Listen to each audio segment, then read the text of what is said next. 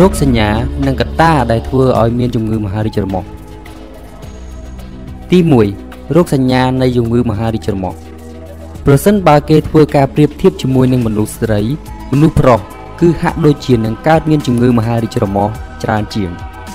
បុរសដែលមានអាយុលើសពី45ឆ្នាំគឺស្ថិតនៅក្នុងការប្រឈមនឹងគ្រោះថ្នាក់ខ្ពស់ ទៅនឹងការកើតមាននៃជំងឺមហារីកច្រមុះនេះ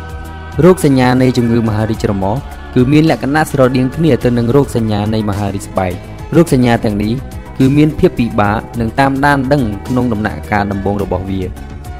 វាអាចនឹងរីករាលដាលដល់ផ្នែកផ្សេងទៀតនៅលើផ្ទៃមុខនៅក្នុងដំណាក់កាលរ៉ាំរ៉ៃនៃជំងឺនេះ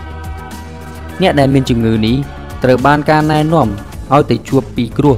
និងអ្នកជំនាញផ្នែកច្រមុះបំពង់កដើម្បីឲ្យគេធ្វើការកំណត់ពីមូលហេតុឲ្យបានច្បាស់លាស់ពីរោគសញ្ញាទាំងនេះ។រោគសញ្ញាបឋមនៃជំងឺមហារីកច្រមុះមានដូចជា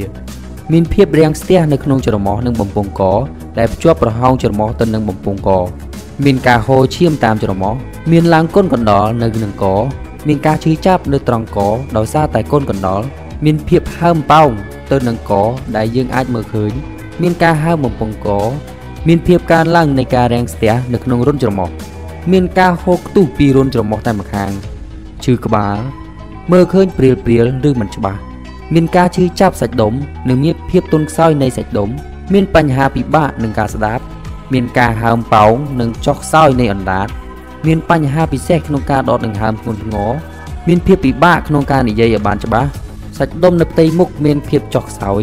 កូនកណ្ដុរនៅនឹងកមិនស្រកចុះ មានភាពពិបាកក្នុងការធ្វើចលនានិងលើកស្មាទាំងពីរមានភាពពិបាកក្នុងការផ្អៀងក មានភាពស្លេកស្លាំងឬកង្វះឈាម មានការបង្ករោគនៅក្នុងច្រមុះបំពង់កជាដើមមានភាពរាំងស្ទះមានភាពស្គមស្គាំងកង្វះជាតិទឹក ទី2កត្តាដែលអាចបណ្ដាលឲ្យមានរោគសញ្ញានៃជំងឺមហារីកច្រមុះនេះមាន ការស្រូបយកនៅបំណែកល្អិតតូចតូចនៃលោហៈធាតុនៅក្នុងសន្លឹកមាសឬប្រាក់សារធាតុគីមីដែលមានប្រើនៅក្នុងការផលិតស្បែកជើង ធូលីដែលមាននៅក្នុងការធ្វើគ្រឿងសង្ហារឹមធូលីដែលមានមកពីរោងម៉ាស៊ីនអាឈើធូលីដែលមានមកពីម៉ាស៊ីនធ្វើម្សៅឬផលិតនំប៉័ងជាបរិបទដែលស្ថិតនៅលើសពីអាយុ40ឆ្នាំនិងចូលចិត្តការជក់បារី